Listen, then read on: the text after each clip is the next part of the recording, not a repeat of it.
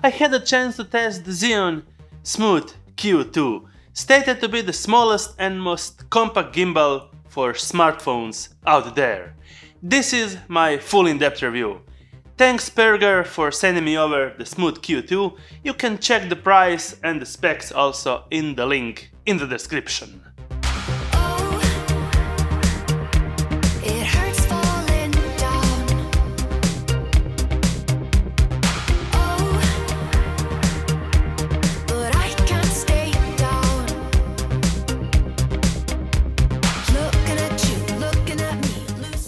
The past I tested and compared a lot of smartphone gimbals and this is not going to stop. In the mere immensity of gimbals, this is actually the most smallest that you can get with a smartphone gimbal.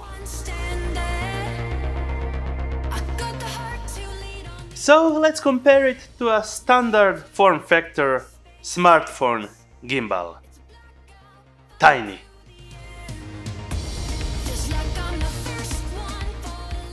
Is it well built? Yes, the all metal frame feels really high quality and it has a really great sturdiness when you hold it in your hands. Can it fit your pocket? Well, sure. Okay, so let's go to a fast unboxing before I show you the footage. In the box you will get the Zhiyun Smooth Q2, smartphone mounting plate, USB-C charging cable, wrist strap and the manual. We are now ready to get the footage filmed with the OnePlus 6 and the Xiaomi Mi 9.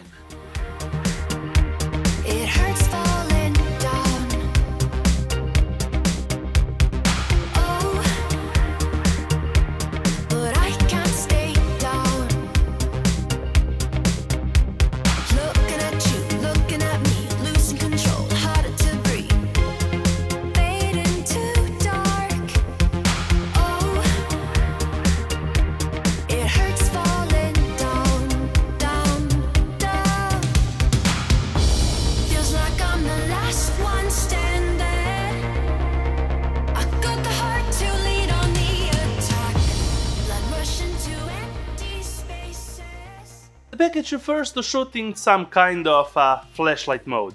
And that's okay if you don't want to get some creative shots. If you're going to be more creative, will for sure want to do some more creative shots that involves more moves. And this is the point when you get visible the tilt motor on your smartphone camera, no matter how hard I try to move my smartphone to the left. Even with the Xiaomi Mi 9 I get the same results even worse if I use the wide-angle lens. So maybe your smartphone is built with a better camera displacement, but I don't see the problem there. If you move your smartphone to the left, it will not be so balanced anymore and you will stress the motors. So there are only maybe one or two solutions to this problem. Film always in flashlight mode or actually switch your smartphone to the wrong side so your camera don't get obstructed from the motor. Now you will struggle to see anything because of the mounting plate that holds your smartphone. I don't know if I'm doing something wrong, but I don't have any solution to remove my tilt motor from my camera shots. Zhiyun is a really great, big established company for gimbals and actually I tested a lot of their gimbals like the Crane 3, the Weebill Lab, the Smooth Q4 and I was really satisfied using them, actually I'm using all the time the Weebill Lab. Let's go to some other features of the Zhiyun Smooth Q2.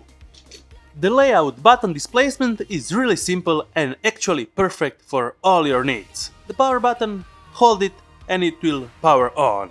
There is a great little joystick for the pan and tilt control and the record button. On the side you will find the USB-C charging port. At bottom there is one quarter screw mount. Sadly, there is no mini tripod stand in the package. Pressing the joystick you will be able to select the different modes. Pan follow mode, lock all the motors, follow mode and POV mode. Simple like that. When pressing two times the center of the joystick, you will recenter the gimbal. When pressing three times the power button, you will flip it on your side. When you flip it horizontally, it will auto-detect that you want to go on portrait mode. There is also a dedicated ZY app. The provided ZY app gives you some good functionalities. Moving time-lapse with some preset waypoints, normal recording, take a photo, and panorama. On the left side there is a timer, HDR function, and setting option. There are some basic settings to choose. Video resolution 720, Full HD and 4K all in 30p. I would love if they have added some 25 or 24 frame per seconds and also some slow motion like 60p. On the settings menu you can switch off the electronic image stabilization of your phone, turn on some GURs and diagonals for better framing, choose some of the stabilizer parameters and the device info.